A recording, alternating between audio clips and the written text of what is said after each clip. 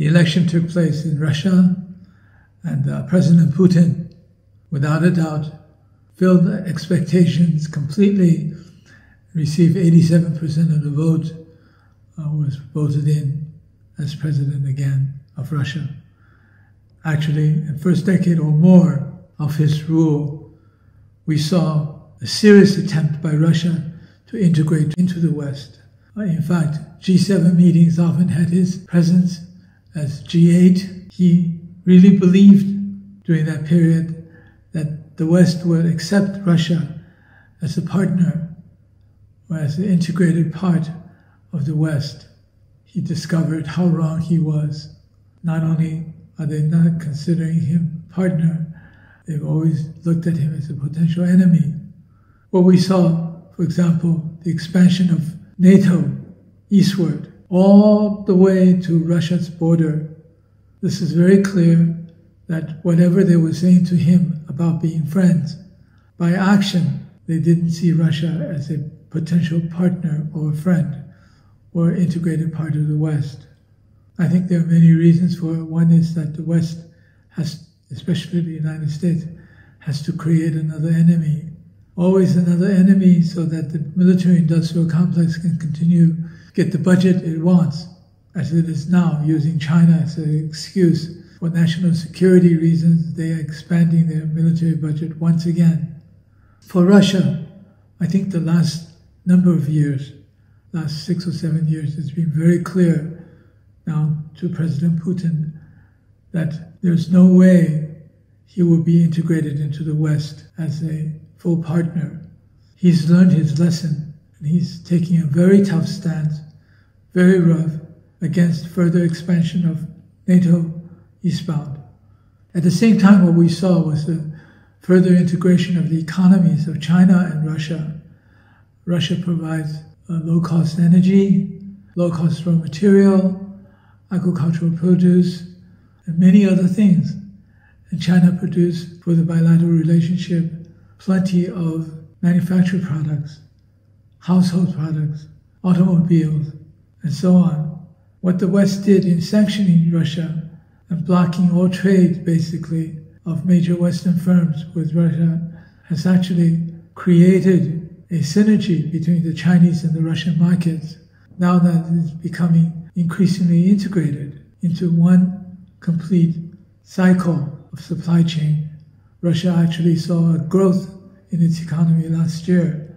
And I think so far, strategically, the two leaders, President Xi and President Putin, are well aware of the necessity of collaboration, strategic partnership to, number one, improve the lives of its people, but number two, to collectively, with the global south, together create a more balanced international system to address a number of issues which have been brought up internationally, including climate change, including peace, including the disruption created by proxies by the US.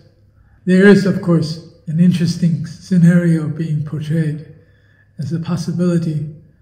President Trump, when he becomes President Trump, will immediately restore relations with Russia, improve relations with Russia, will stop supporting Ukraine and end the war and be friends with Russia again. Now, this is a scenario that's being portrayed by some in Washington. Would it happen? Could it happen? There could be some collaboration by the US side to force Ukraine to stop the fighting and give up the battle. I think it's possible that there will be improvement in relations. What has happened over the course of the last several years, I think it's difficult to reverse.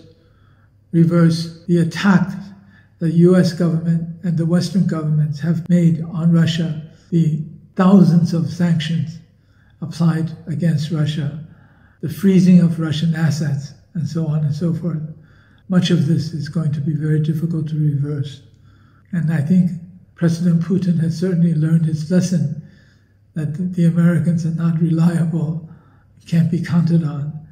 U.S. president is changed, policies can change, the relationships are not strategic, not based on underlying principles.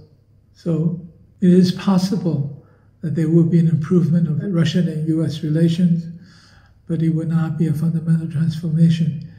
I think it's unlikely that Russia would turn again to the West anytime soon. I think the deepening of the collaboration between China and Russia will continue. The combined forces of working out a more equal, more fair, more respectful international network, international system will continue. And the collaboration with the global south will strengthen it even further. So good luck to President Putin on his next term of presidency.